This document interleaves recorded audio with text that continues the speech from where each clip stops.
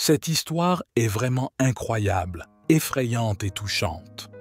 Une religieuse avait des visions uniques sur l'avenir du monde, de l'Église et même du pape François. Il a également tenté d'avertir l'humanité d'un danger qui est sur le point de s'abattre sur nous. Sœur Maria Teresa, une pieuse religieuse de 50 ans de l'ordre des Carmes des Chaux, vivant une vie de confinement, de silence et de contemplation dans un couvent espagnol, il reçut des visions prophétiques qui éclairent cette question même. Dès son plus jeune âge, Marie-Thérèse a reçu le don divin de prophétie, recevant des messages directs de Dieu à travers des visions mystiques dans lesquelles elle a rencontré Jésus, Marie, ange et saint, révélant des secrets sur le passé, le présent et l'avenir de l'Église. L'un des messages les plus cruciaux et les plus alarmants reçus par Maria Teresa concerne l'avenir du pape François. Dans une vision très vivante, il vit le Saint-Père enveloppé d'une lumière rayonnante, puis le voir affronter une terrible tempête composée d'éclairs, de tonnerre, de vent, de pluie, de neige, de grêle et par la suite feu, fumée, tremblements de terre, éruptions volcaniques, tsunamis, inondations, épidémies, guerres, attentats, persécutions, apostasie, hérésie, scandales et divisions. La religieuse a vu le pape endurer toutes ces calamités qui affligeaient l'Église et le monde, pleurant ses enfants perdus et rebelles, priant avec ferveur pour la paix et la conversion des pécheurs, résistant aux tromperies astucieuses du malin et aux trahisons de ses ennemis. Pourtant, au milieu du chaos, il a aussi vu le pape sortir triomphant de toutes ces épreuves, conduisant l'Église vers une nouvelle renaissance spirituelle. Proclamer sans crainte l'Évangile et recevoir le soutien indéfectible de Marie et de tous les saints de la part de Jésus lui-même comme son vicaire sur terre. Maria Teresa comprit que cette vision servait à la fois d'avertissement et d'encouragement à tous les fidèles. Un avertissement pour nous préparer aux temps difficiles qui nous attendent et un encouragement à suivre le pape avec une confiance et un amour inébranlables. La religieuse a écrit cette vision dans une lettre sincère adressée directement au pape, expliquant le sens de ce qu'elle avait vu exprimant sa profonde estime et son dévouement à son égard, et demandant humblement sa bénédiction et ses prières.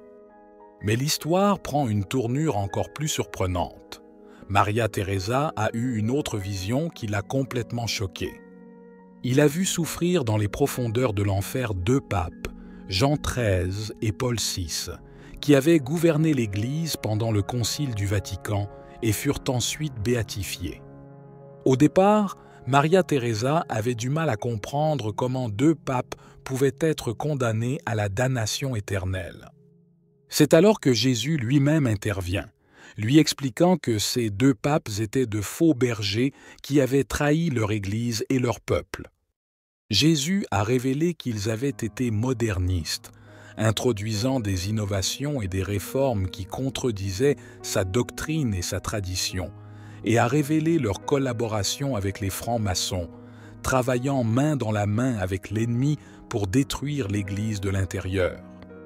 Dans une dernière révélation, Jésus lui dit que ces deux papes avaient été jugés et condamnés par son tribunal divin, condamnés à souffrir éternellement en enfer en punition de leurs graves péchés. Ébranlés au plus haut point par cette vision, Maria Teresa a d'abord eu du mal à accepter ce qu'elle avait vu et entendu.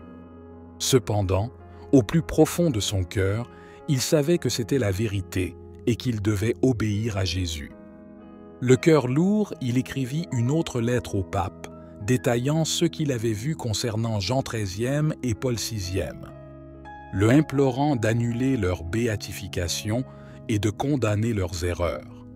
Maria Teresa a également imploré le pape de restaurer la vraie foi et la vraie liturgie au sein de l'Église, d'écouter sa voix et d'accomplir la volonté divine de Dieu. Cette histoire extraordinaire et profondément émouvante nous rappelle à tous de discerner les signes des temps et de choisir de manière décisive entre le bien et le mal. Jésus ne nous abandonne jamais, mais nous parle à travers ses prophètes. Que Marie ne nous abandonne jamais, mais nous protège de son manteau protecteur. Et que le pape ne nous égare pas, mais nous guide avec son autorité divine. Unissons-nous dans la prière pour l'Église, le pape et les uns les autres, afin que nous puissions rester fermes dans notre foi au milieu des tempêtes de la vie et trouver la paix et l'espérance même face à l'adversité. Puisse cette histoire profonde nous inciter à grandir spirituellement et à devenir des phares de lumière dans un monde souvent plongé dans les défis et la confusion. Nous avançons, marchant sur le chemin de la foi et de l'amour, croyant fermement que, comme cette histoire l'illustre si puissamment, la lumière de la vérité finira par vaincre les ténèbres.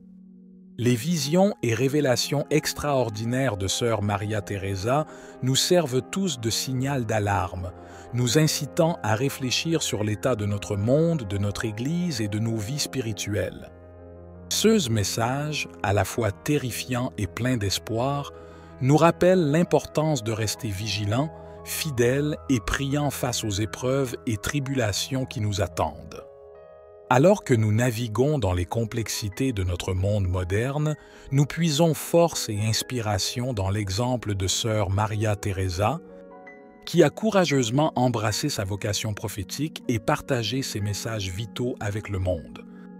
Puissions-nous, nous aussi, avoir le courage de rester fermes dans notre foi, même lorsque nous sommes confrontés au doute, à la confusion ou à l'opposition? Restons fermes dans nos prières, recherchant l'intercession de notre Sainte Mère, des saints et des anges, alors que nous nous efforçons de vivre le message de l'Évangile dans notre vie quotidienne. Ce faisant, nous pouvons devenir des instruments de l'amour, de la miséricorde et de la vérité de Dieu dans un monde qui en a désespérément besoin. En réfléchissant à la gravité des visions de sœur Maria Teresa, nous nous souvenons également qu'en fin de compte, le plan de Dieu pour son Église et pour chacun de nous est enraciné dans l'amour et la rédemption. Même si nous sommes confrontés à des épreuves et à des tribulations, nous pouvons faire confiance à la promesse de la victoire du Christ sur le péché et la mort. En nous accrochant à cette espérance et en nous soutenant les uns les autres dans la prière et les actes de charité, nous pouvons surmonter les tempêtes de la vie et en ressortir plus forts, plus fidèles et plus profondément engagés dans la construction du royaume de Dieu ici sur terre. Nous devons prendre à cœur le message puissant des visions de sœur Maria Teresa en nous laissant inspirer, mettre au défi et guider pendant que nous cheminons ensemble vers notre demeure céleste.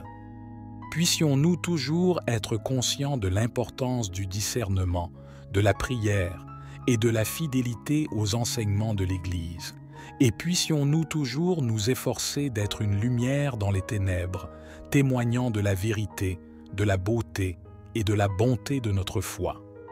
Avant de nous dire au revoir, il y a une autre chose que vous devriez savoir la Vierge Marie a accompli et accompli encore un miracle devant des milliers de personnes. Cliquez sur la vidéo à l'écran pour découvrir l'histoire. Que la paix et la grâce de notre Seigneur Jésus-Christ soient toujours avec vous, et puissions-nous tous rester unis dans la prière, l'amour et l'espérance jusqu'à ce que nous nous retrouvions. Que Dieu te bénisse.